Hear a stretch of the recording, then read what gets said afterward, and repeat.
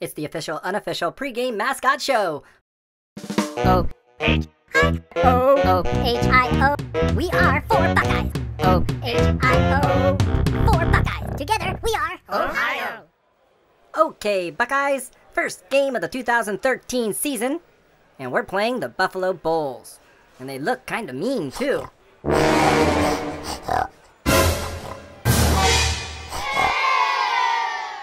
H, what are you doing? I got a plan to get all those bulls on our side and guarantee that they're for the Buckeyes.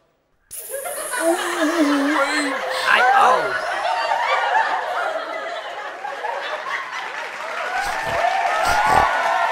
This weekend, let's brand the bulls. All right, let's, go, Bucks. Brand those bulls.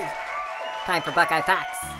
Hail, hail! The gang's all here. It's time to start a new season, 2013. First game, Ohio State versus the Buffalo Bulls.